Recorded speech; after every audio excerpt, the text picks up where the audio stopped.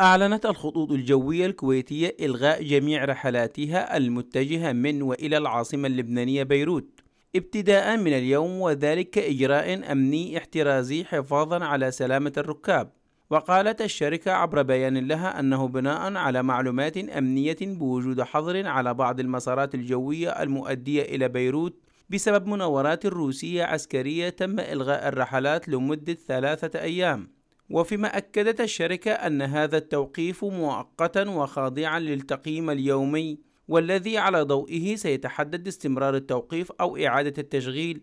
أشارت إلى أنها تعمل على تطبيق كافة وسائل السلامة الجوية حرصا على أمن طائراتها وركابها. وسادت حالة من الإرباك في بيروت أمس تزامنا مع طلب روسيا من لبنان عبر هيئة الطيران المدني تحويل مسار الطائرات المدنية من الخطوط المعتادة بسبب رغبتها في إقامة مناورات بحرية في المياه الدولية في البحر المتوسط مما سيؤثر على خط الطيران المدني.